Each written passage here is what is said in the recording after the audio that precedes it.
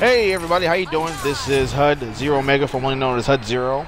I'd like to apologize for having a little hiatus. Um, I've been really busy with work and, of course, uh, daddy duties. Uh, but I'm actually back. I'm trying to put this in a new direction. Uh, but I want to try to make this short and sweet. So, on to today's video. Uh, turns out that someone, uh, I'm not sure exactly where he came from, but uh, there's a guy named uh, Jeremy Hillman, uh, Director of Communications at the World Bank Group. Um, he has a son who uh, decided to spend about over $4,500 on digital content on his Xbox before his parents noticed. But but check this out, you know, and this is where I try to, I had to pin this on uh, parental responsibility.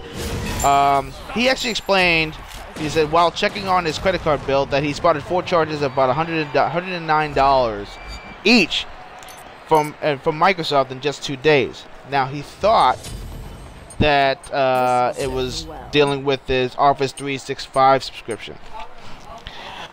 But he also noticed that it was multiple times on his credit card statement and um, and he, he said, and I quote, with horror, I started scrolling through pages of charges, 109, 109, 109, sometimes two a day.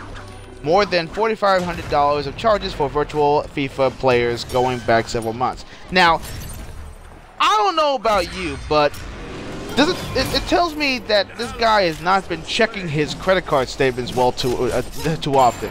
I mean, for several months, did he just happen to check it out that month because he was unsure? It makes no apparent sense.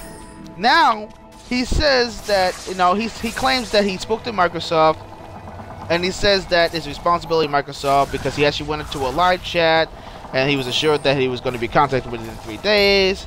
And of course, he says that never happened. Uh, then he said that uh, he, he saw put someone else a, a, week later, and then uh, this is what he this is what it quoted. Okay, he says our policy stated states that all purchases are final and non-refundable. A purchase confirm, confirmation email was sent to email blah blah blah, and of course this is the son's email. Um, each time a purchase was made, because that is the email that was designated as the contact email on the billing profile you are responsible for any material that a, that a user of your services account accesses or is denied access to, including as a result of your, of your use or non-use of parental controls.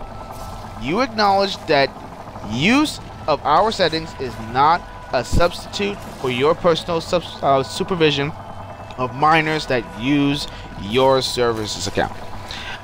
You know what? Isn't that cut and dry? It makes perfect sense.